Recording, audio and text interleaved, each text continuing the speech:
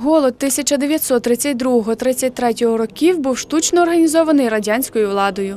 Усі запаси зерна та продуктів у селян примусово відбирали. Верхом цинізму у цей період було і те, що держава мала величезні ресурси зерна. Більше того, ці ресурси відправлялися на експорт. Факт геноциду українського народу визнали 24 країни. Голодомор забрав мільйони людських життів майже на всій території тодішньої радянської України. На Тернопілля радянська влада прийшла пізніше, у 39-му. Та навіть ті, чиї родини не знали голоду 32-33 років, сумують разом з усією Україною. Не було ми родом із Західної України, з Тернопільщини, родичів нас не було. Але ми знаємо про ту страшенну трагедію, яка спіткала український народ, і тому ми прийшли сьогодні. Просто мої батьки їздили на Хмельниччину і бачили той голод. Що вони вам розповідали?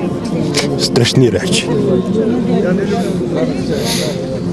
Страшні речі розповідали, коли вони були на жнива на уборці хліба.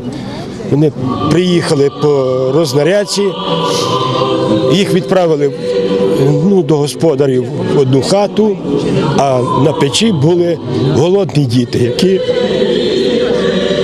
не бачили хліба. Пам'ять жертв голодомору вшанували хвилиною мовчання та відслужили панахиду. До Христа на театральному майдані Тернополя все додавалось запалених свічок.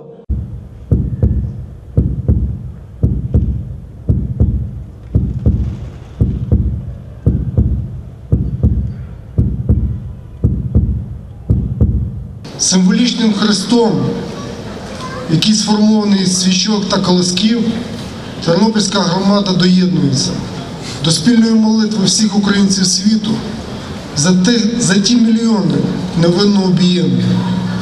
Особливість людської пам'яті така, що ми часом забуваємо, що проходить в нашому житті.